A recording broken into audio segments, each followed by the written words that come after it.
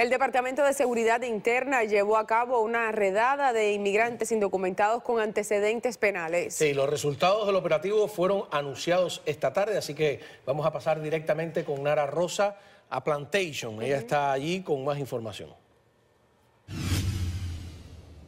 El Departamento de Seguridad Interna hizo el anuncio esta tarde aquí en sus oficinas del sur de la Florida, eso conjuntamente con su sede en Washington.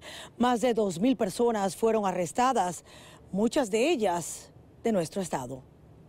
El que ven en pantalla es un peligroso narcotraficante indocumentado que había sido fichado por las autoridades por sus actividades delictivas aquí en el sur de la Florida y fue arrestado por agentes especiales del Departamento de Seguridad Interna en un operativo nacional que culminó el jueves pasado.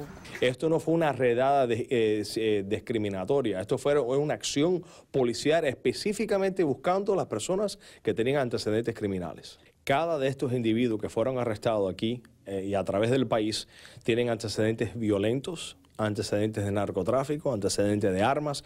Eran personas que eran un peligro a la comunidad un total de 2.059 indocumentados de 92 países como Jamaica, Polonia, Finlandia y México fueron apresados. 58 de ellos pertenecían a pandillas y 89 eran convictos de delitos sexuales. 117 de los arrestados operaban en el sur de la Florida.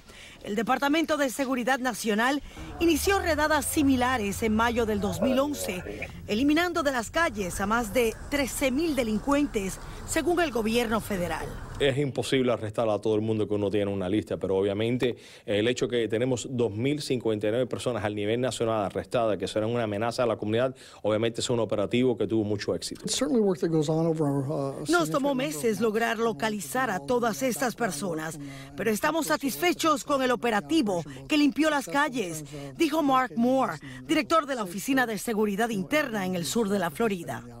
Hay que entender que muchas de estas personas con antecedentes delictivos tenían ya orden de deportación. Obviamente ese proceso será ahora agilizado.